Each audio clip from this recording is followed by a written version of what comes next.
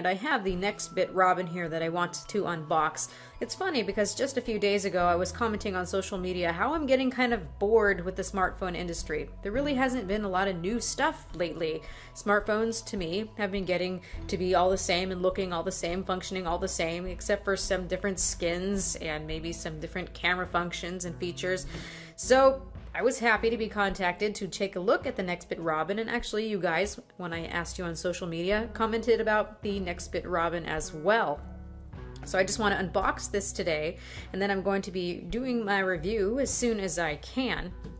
So this is a phone that works around cloud storage. So instead of having SD cards or worrying about having internal storage that runs out, this phone is able to offload your pictures, videos, and applications onto the cloud and you can go about your merry way with everything that you need on your phone and then you can restore those back onto the phone from the cloud and everything is backed up. You don't have to restore your application settings nothing like that. So i thought that that was pretty cool. And this has been created by a lot of android pioneers. The specs on this phone are definitely up to par. So let's go ahead and just open this up. Got this cute little box Let's make sure that the exposure isn't too high here. So, opening this up, let's just start with the front thing. Hey, Ribble, meet Robin. And I think this is adorable, this packaging that they have here. A couple little pages. Robin never runs out of space. How? When Robin is charging and connected to Wi Fi, that's the default, by the way. You can actually make it so it's not on Wi Fi and backup. It backs up all your apps and photos to the cloud. Cute. When you need more space, Robin archives the stuff you never open. When you want to restore something that's been archived, tap to open it like you normally would. Robin will bring it back from the cloud right away. Now you've got plug Robin in to charge it. It's got USB Type C. Now I looked at the Reddit and it looks like it supports Quick Charge 2.0. So you've got a SIM card ejection tool. You've actually got a fingerprint sensor on here too. I was pretty excited about that. And I love this color. I think they call this mint. So next, now. So on here they've got this plastic film, and they're a little bit snippy, kind of cutely sarcastic. This is a speaker, obviously. Thank you, Nextbit, for pointing that out to me. I don't think I could have figured it out. Then at the bottom, it says, This is a speaker too, not a home button. It's funny though, because I had my husband touch it, and the first thing he did, being an iPhone person, was try to press on what he thought was a home button. So it's a bit snippy, but it isn't unwarranted anyway. And we've got the USB A to USB C. This is the cable that it comes with. Unfortunately, you do not have a charging brick with this. That's something you're going to need to get separately. A little upsetting, but not too bad. And then you've got your little SIM ejection tool that looks like the cloud. So let's just take off the wrapping then. This is a polycarbonate body and it's very, very thin. I like how this feels in the hand. This is something that looks different, feels different, functions differently than things I've seen lately, hence why I'm excited. On the back here, we have a 13 megapixel camera, dual LED flash. We have our little cloud icon. And when this is uploading things to the cloud, these little buttons will light up, these little LEDs, and that's very, very cute. You're not disturbed in any way of what's going on, but you can turn it over and see that it is indeed working, and I, I like that. Nice touch. Nextbit, this nice mint green color. On the side we have this fingerprint scanner, and we have our SIM tray. Now this phone, there's a GSM version and also a CDMA version.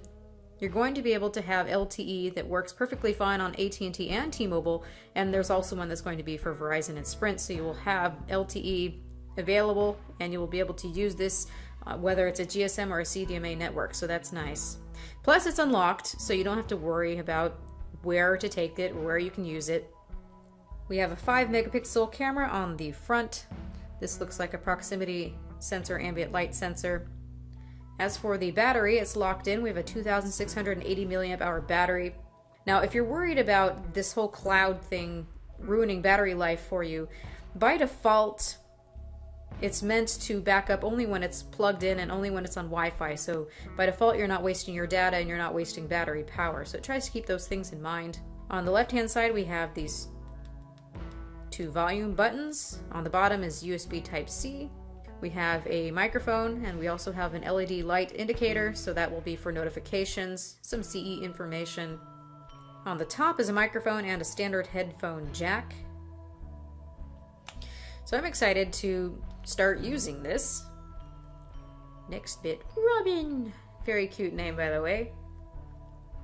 So if you didn't catch this before, obviously these are front-facing stereo speakers. They have two separate drivers. On the front is a 5.2 inch IPS LCD display. This is covered with Gorilla Glass 4, so this is all very up to date. This has the Snapdragon 808 SoC inside of it. We've also got NFC. I don't see an NFC logo, but that is definitely in the specs. So we have 3 gigabytes of RAM, 32 gigabytes of internal storage, but you get 100 gigabytes of cloud storage, and that's going to exist forever for you. You're not going to have to pay for a subscription or anything. That is part of the phone. That is part of the operating system's integration. So here is that fingerprint scanner. It looks to work really well.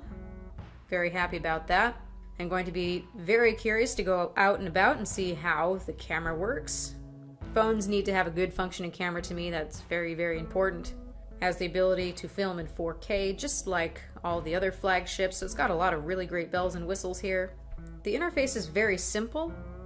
This has Marshmallow on it, and Nextbit says that this is going to be getting the newest updates as quickly as they possibly can, so it's going to be a very well supported phone. You do have a little bit of a skin on here, so the launcher isn't completely stock. You don't have an app drawer, although that's not so much a problem, just put a different launcher on here. But when you pinch, this is where you're going to have access to your widgets. So it's a, a little bit different. It's something I need to take some time to get used to. So you can see here that on this home screen we've got some applications that look grayed out or they call these ghosts. These are applications that have been archived.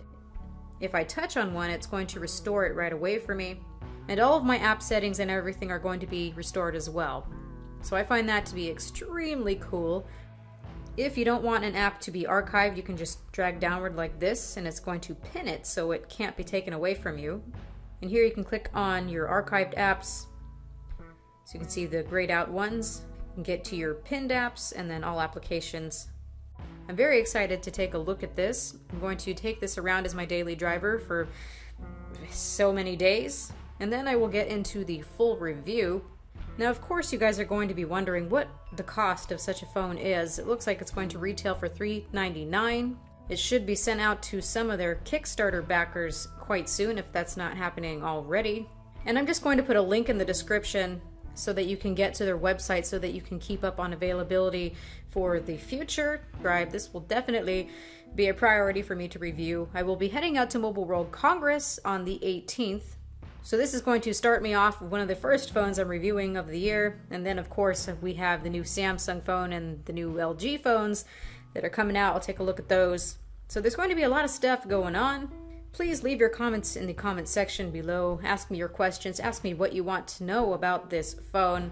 This is a really nice, slim feeling, very sturdy, light, but robust feeling phone. Very different, very interesting.